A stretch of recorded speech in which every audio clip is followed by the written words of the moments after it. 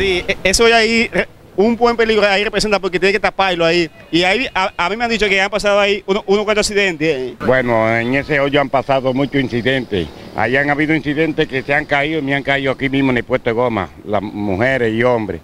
Las autoridades hubieran de tener más, más cuidado con eso, que es un peligro para el transeúnte también. Un peligro. É que rato los motoristas atrasados de ahí. Otro día tuvimos otro que coger y, va- y meterle un ramo, basura y de todo.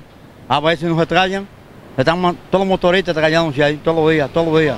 Hablamos con Alex otro día, y lo vio. No ha puesto caso. Yo trabajo aquí en el repuesto y ellos caen en ese hoyo ahí y vienen cayendo allá. Ya tú sabes, todo pelado, muchachitas que tienen su pasolita, gente mayores, tú sabes. Hay que taparlo porque eso la gente se está cayendo, matándose y recogiéndolo en la calle. Bueno, yo, yo le dije a Alex en otro día que estaba por aquí tumbando vaina y dijo, pero mire ese hoyo, ahí se cayó una niña recién nacida que dio hasta, hasta lástima cuando cayó. Hace mucho ese hoyo tiene problemas ahí.